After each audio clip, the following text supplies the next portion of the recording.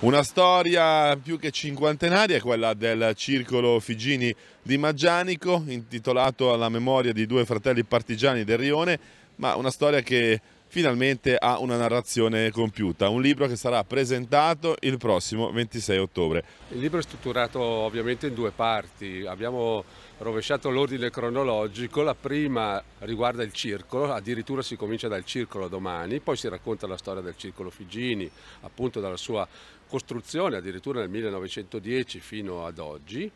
e nella seconda parte invece si raccontano le vicende dei due fratelli Figini, cioè Costantino, Giuseppe, Tino e Pino, che eh, hanno dato due fratelli partigiani, uno morto nel 1944, nel 31 dicembre, l'altro il 26 aprile del 1945, proprio a pochi metri da qui, eh, di fronte al parco di Villa Gomez, e il libro appunto si conclude con, eh, con la morte di di Costantino, ma collegandosi al presente, perché è un libro ovviamente circolare, parlando di un circolo. Ecco, a piacciono le storie che non sono finite, non piacciono le storie diciamo, di, di, secoli fa, ma mi piace raccontare di persone vive, di, di, di organizzazioni vive, come in questo caso il nostro circolo. Questo libro è un appuntamento importante per il nostro circolo perché finalmente racconta la storia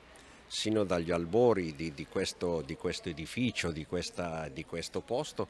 e lo racconta in modo documentato. Ci serve questo documento per avere la memoria storica rivolta al presente e al futuro di questo nostro circolo che cerchiamo di sostenere perché è un bene prezioso per il rione e non solo.